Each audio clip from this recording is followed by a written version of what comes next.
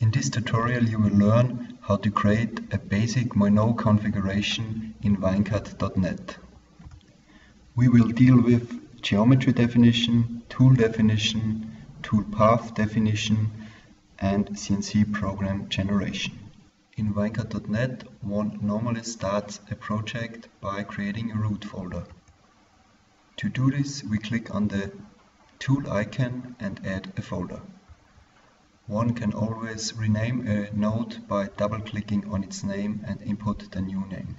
In our case we call the folder tutorial 0. The next point is adding a Moineau design.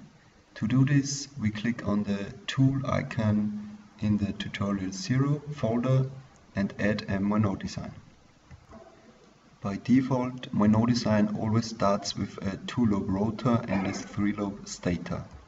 When a property of the Moineau design is changed, the new result is calculated immediately.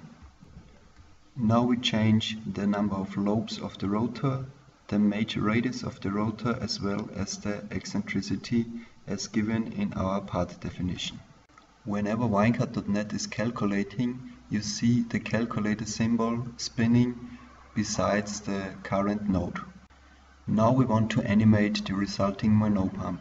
To do this we select 3D rotor and 3D stator and you will see the 3D result of our definition. Now we start the animation and we can see the, the current contact region between rotor and stator.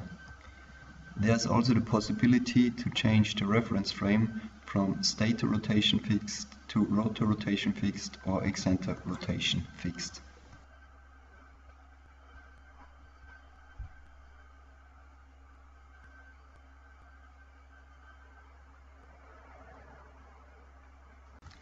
The next step is to add a tool. We add a side miller and then we can change its definition. So let's say we change the tool insert radius to 2.5 millimeters and you see that the visualization of the tool is changed instantly. Now we want to add a tool path. So we click on the tool icon again and add a machine path. Machine path always requires the selection of a geometry and a tool. The geometry of course is the flank to manufacture and the tool the tool which is used for manufacturing. Now one can scroll through the calculated tool path points and visually check if the contact between tool and uh, generated curve or generated contour is correct. It's also possible to check the axis trajectories for example whether they are smooth enough and do not have any spikes. Now we add a machine definition node which provides all information of the machine used for manufacturing the part. So if there are more than one Weingärtner machines available, the user has to decide on which machine he wants to manufacture the monopart. The last stage is adding a Moineau CNC program. To do this we click again on the tools symbol besides the tutorial folder. The resources required for a CNC program are the machine path which we have already calculated and the MDF file for the selected machine. After defining the resources, the CNC program is calculated immediately. In the length view tab one has the ability to do a simple and quick visual check of this calculated toolpath.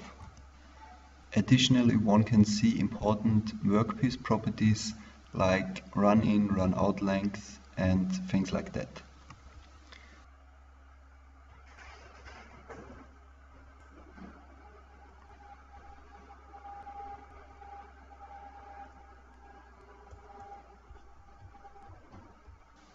The last point is exporting the CNC program and transferred to the machine. I hope you enjoyed this first WeinCAD.Net tutorial.